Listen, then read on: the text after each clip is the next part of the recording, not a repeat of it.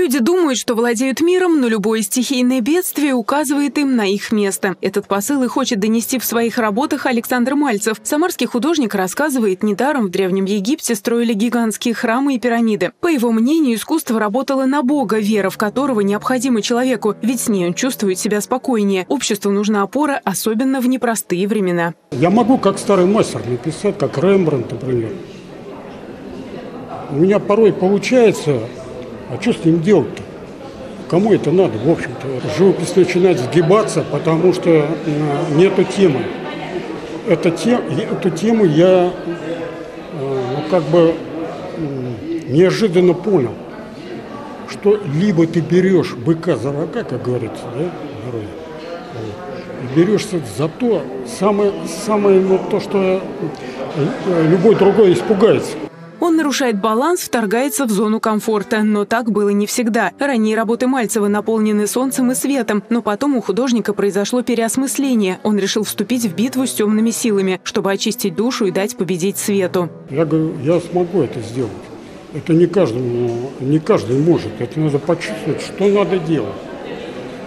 Никаких красивых, главное, цвет не должен быть в этом отношении какой-то красивый. Вот эта форма, она везде, везде э, в движении. Ни одного этого э, процесса, когда появляется что-то форма, одна в другую. Нет остановки какой-то. Это почему? Это потому, что размер, хочется э, выйти из-за предела этого холста, как бы связаться с архитектурой. Работа Александра Мальцева выходит за рамки картины, им чужды ограничения. Автор хочет показать яркие, мощные художественные истории, и каждый из них не умещается на одно полотно. Это серия работ. Критики называют его демоноборцем. Я думаю, что все мы обладаем собственными демонами, на которые мы традиционно пытаемся закрывать глаза.